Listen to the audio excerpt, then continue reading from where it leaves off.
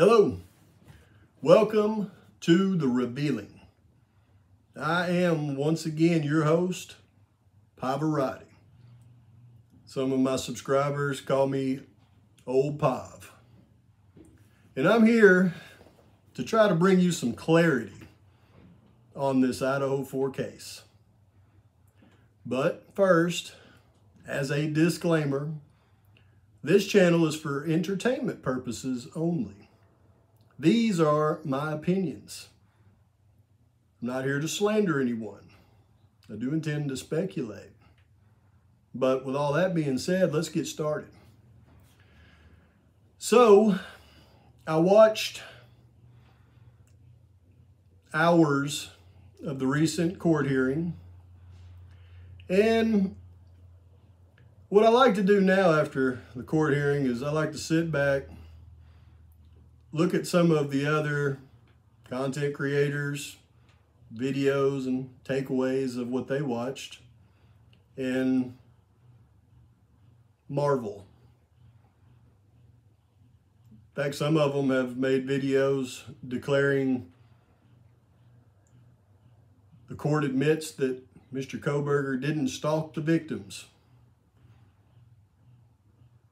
Well, I guess I could say that's vindication for my video last week. I mean, that's what we ascertained in that court hearing. Now, in this court hearing, it was confirmed not only by the prosecutor, but also by the judge.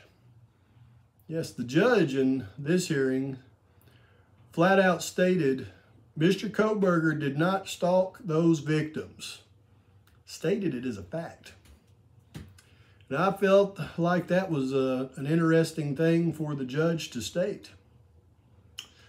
Um, other discussion about, and by the way, I'm not going to play a bunch of clips from the court hearing. I mean, if you if you need verification of what I'm saying, please feel free to go watch it. It's it's quite long. There's there's a lot of interesting things in there. Uh, that was my biggest takeaway was when the judge said Mr. Kohberger did not stalk those victims. Other things, though, that were mentioned were very interesting. The defense actually finally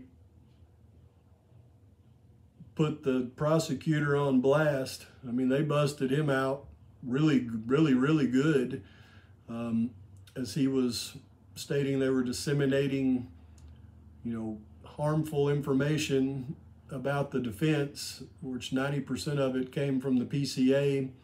They put their expert on the stand and he had a slideshow, and his first slide showed the prosecutor back, I think it was December 30th, 2022, in his press conference announcing the probable cause affidavit would be made public soon and for all of the news media to disseminate that information to everyone and that's where it all started. So they, they played that clip, which made the prosecutor look like a um, an AWS. So that was kind of cute. Other things that were mentioned, it got kind of heated. But other things that were mentioned was how half of the items in the probable cause affidavit probably weren't true, and and you know just a, a bunch of other stuff. But here's what I want to report to you today. Because as I watch this hearing, my takeaways, as you know, seem to be different than everyone else's. Number one, when the judge states as fact, Mr. Kohberger never stalked those victims. I want you to think about that for just a second. If the judge in the case knows enough about the evidence in the case to be able to firmly state as fact that there is no evidence that Mr. Kohberger stalked one of those victims. In fact, he said Mr. Kohberger did not stalk one of those victims. That seems to be a level of knowledge about the evidence in the case that we're led to believe that the defense doesn't even fully have at this point. Right? With all the talk of discovery, all the discovery items the prosecution hasn't sent the defense, and the judge perplexed on why the prosecution hasn't sent the defense all the discovery. I mean, that's all the evidence. But somehow the judge, maybe he was sent all the discovery and he went through 53 terabytes of information because he knows beyond a shadow of a doubt, in his words, that Mr. Kohberger never stalked those victims. So, what does that tell us? Hmm. I'll let you know here in just a second what that tells us. That and other things that I noticed in this hearing, it all points to one big picture. And folks, I'm not sure that unless you pay attention to this stuff the way I do, that you're going to be able to grasp this, but I'm, I'm going to tell you, right, and let you start trying to wrap your, mouth, your mind around this. The actual hearing that's going to take place against Mr. Kohberger And the defense today was more adamant than ever, stating, We believe in the innocence of our client. We believe our client is innocent, and we're working on behalf of that, and we're honored and privileged to be working for our client because we believe he's innocent. That was some pretty strong statements. But what I've ascertained from all of this, plain as day, nobody else sees it for some reason, is the case that is going to be tried when this thing actually finally goes to trial has absolutely nothing to do with any of the narratives that you've heard from the media and 90% of these content creators out there. It has nothing to do with any of it. And they verified that today in court. Absolutely nothing. This case, the facts of this case, are going to be tried on one thing and one thing only. And that is the level of participation that Mr. Kohberger played in the atrocity. When this goes to trial, the defense's argument the prosecution's argument is all going to be determinative on did Mr. Kohberger actually get out of the vehicle or did he simply just drive the vehicle? What was his knowledge of what was going to be taking place if he did not get out of the vehicle? And what was his knowledge of the circumstances after the fact if he did not get out of the vehicle. That, ladies and gentlemen, is what the trial will consist of. For a long time, I thought that the trial itself would be would play out in a way where they didn't really want the true information to get out there to the public.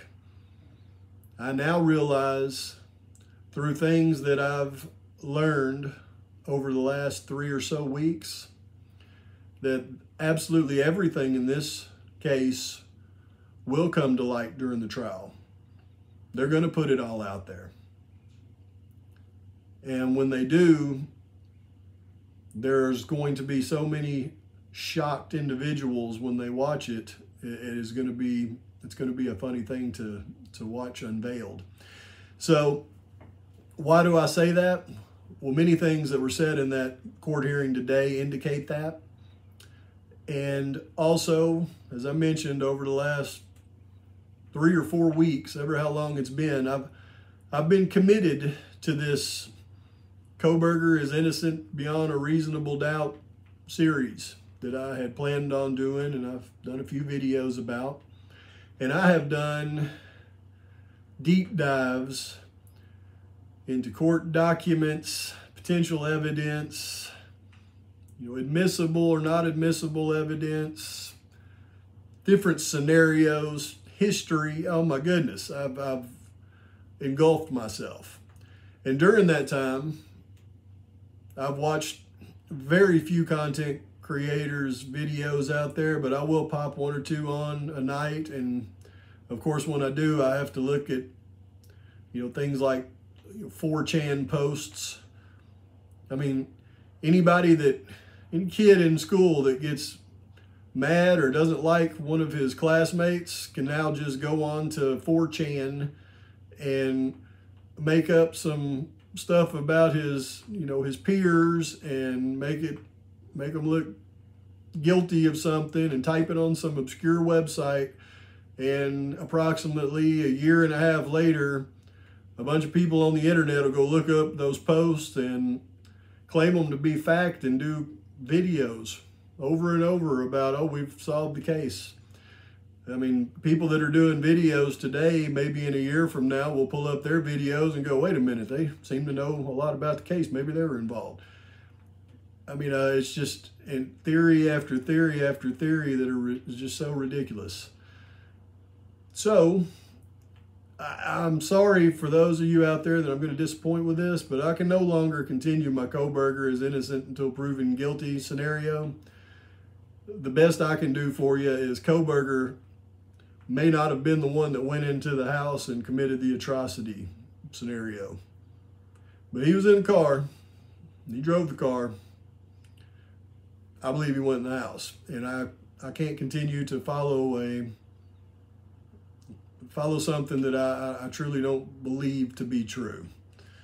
just because it creates content. I don't do that. What I have learned though during this deep dive is a lot of extra information that reaffirmed what I've said up to this point. However,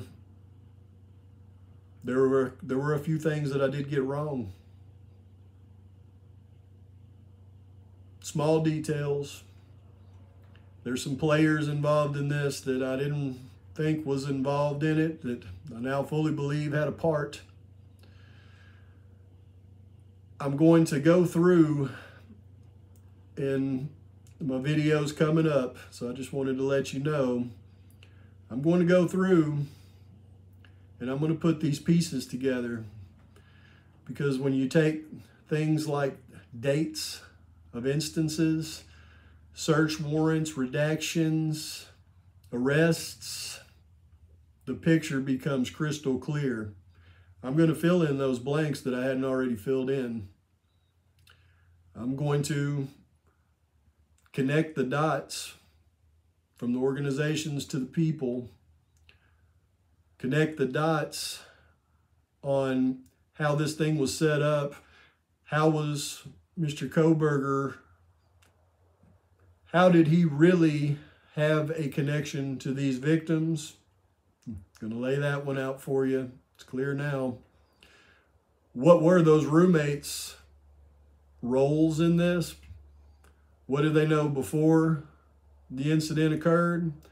What did they know during? And what did they know after? And where are they at now? I'm going to fill in those blanks for you as well. I'm going to tie this thing up in a tighter bow than I tied it up for you before because it's all crystal clear. How did they really get to Kohberger? When did they really get to? That, all the information you know about that is absolutely incorrect. I'm going to show you how and when. But until I do, I haven't talked to you in a while. I'm about to get active again because I just want to get this information out there to you. I know you can you can take that information, you can keep it, you can throw it away. You can say it's great, call it stupid. That's, that's up to you. My role here is to simply give you the clarity that the other ones out there aren't going to give you.